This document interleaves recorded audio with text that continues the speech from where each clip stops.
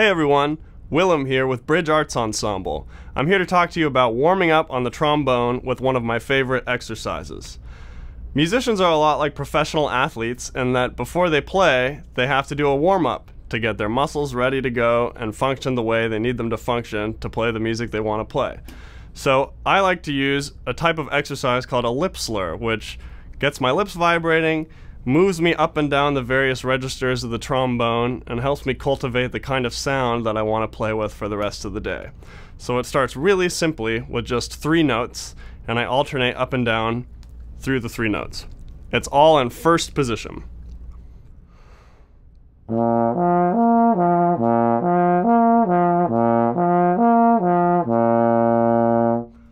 And then we can take that exercise and move it through each position. So next we'll do second position.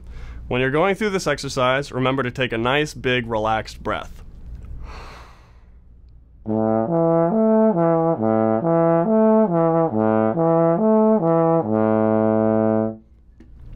And then we can take that all the way down to seventh position.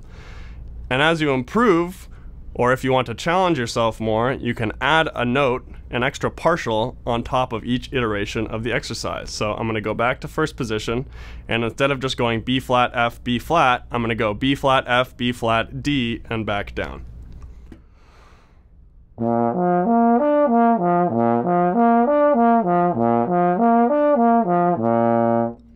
And again, we take it through all the positions, and if you want to challenge yourself more, add one, one more note. And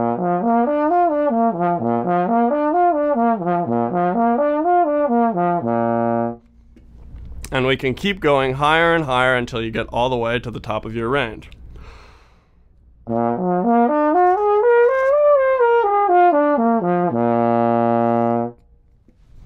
Happy practicing!